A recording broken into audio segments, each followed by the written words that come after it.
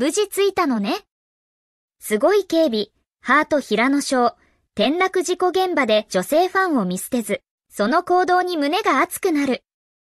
平野翔の素晴らしいエネルギーは、渡米のニュースを聞いてファンの間で異常な興奮を引き起こした。予定がたくさんあって、M ステの撮影が終わってすぐに空港へ向かいました。これは彼がインスタグラムに投稿した彼のシグネチャーである赤い LV バッグを持った写真を通じてファンに伝えられました。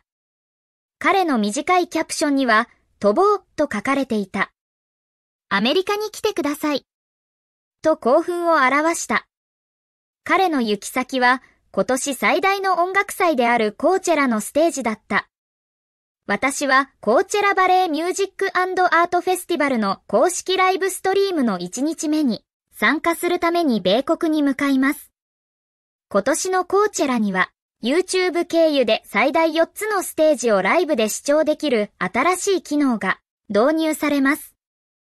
自宅やどこからでも新しいアーティストを発見したり、お気に入りの番組を視聴したり、限定商品を購入したり、世界規模のウォッチパーティーに参加したりできるようになりました。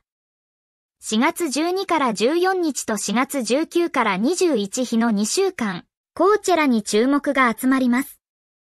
ただし、モバイルデバイスやデスクトップコンピューターではマルチ視聴ができないことに注意してください。しかし、平野翔がアメリカに到着すると予想外の事態が起きた。日本、韓国、米国など各国からのファンが彼の姿を間近で見ようと空港で何時間も待った。彼の人気が非常に高かったため、多くのファンが彼を取り囲んで写真を撮ろうとしたため、警備チームは彼を完全に保護することができませんでした。帽子、マスク、私服を着ていたにもかかわらず、ファンはすぐに彼に気づき、彼を取り囲んだ。事態はさらに混乱し、遠くから手を振ったりお辞儀をしたりする彼の姿にファンも興奮し、場をさらに盛り上げた。もし私がそこにいたら、間違いなくファンと同じくらい興奮するでしょう。ファンの熱狂に依え、遠くから手を振ったりお辞儀をしたりしてファンをさらに興奮させた。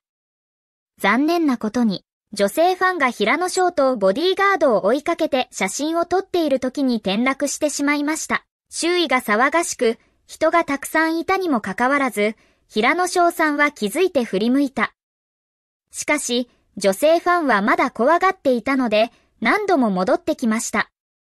平野翔の小さな行動だけでも、彼がファンにどれだけ感謝し、愛情を持っているかを示していました。この映像を見た時に女性ファンは、彼の感動的な答えに感動することだろう。彼はまさに彼らのアイドルです。平野翔はコーチェラへの参加を通じて、コミュニティの視点から多くの人を引きつけてきた。彼のエネルギーと情熱はファンを超えて世界中に広がり、異なる国や文化の間につながりを生み出しました。彼の音楽には人々を結びつけ、共感を生み出す力があります。そして彼の存在はエンターテイメント以上のものです。彼の行動や行動はイベントの社会的影響にも大きく影響します。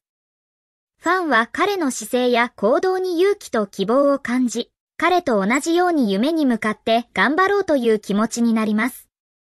コーチェラへの参加は平野翔のキャリアにおける新たなマイルストーンであり、彼の多彩さと才能をさらに発揮する機会となる。彼の音楽は様々なジャンルやスタイルを組み合わせながら、彼自身の魅力と個性を表現しています。彼はアイドルであるだけでなく、創造的な表現者としての地位を確立しました。平野賞のコーチェラへの参加を通じて、私たちは音楽とエンターテインメントの力が社会に与える影響を目の当たりにしました。彼の作品は一時的な娯楽のためだけのものではありません。人の心を変える力もあります。コーチェラのステージで輝く平野翔の姿は多くの人に勇気と希望を与えた。彼の音楽とパフォーマンスは人々の日常生活を高揚させ、ポジティブな影響を与えることができます。彼の存在はスターとしてだけでなく、社会変革の推進者としても評価されるべきだろう。平野賞のコーチェラへの参加は、音楽界における新たな一歩であり、キャリアの転換点となるだろう。彼の才能と情熱はこれからもより多くの人に伝わり、ファン層はさらに広がっていくだろう。今後さらなる成功と発展が彼を待っています。平野賞のコーチェラ参加は単なる音楽イベントではない。コミュニティの結束力と音楽の力を通じて人々を結びつけ、社会に変化をもたらします。